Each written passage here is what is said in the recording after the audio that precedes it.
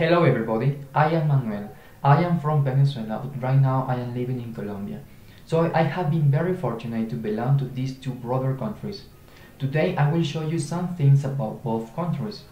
The first thing that I have to say is that these two countries has more things in common than difference, I think.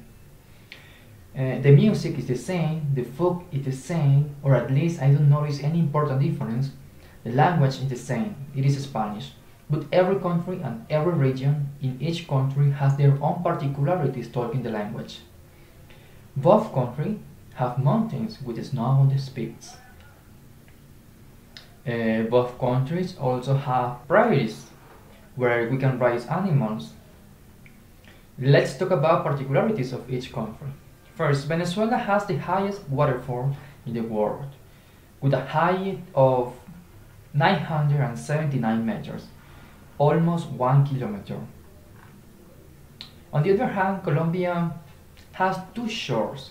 The Caribbean Sea and the Pacific Ocean is the unique country in South America that have this particular feature. Venezuela also has a lot of shores. Well, I'm going to finish with two photos of the capital of each country. Bogota and Caracas.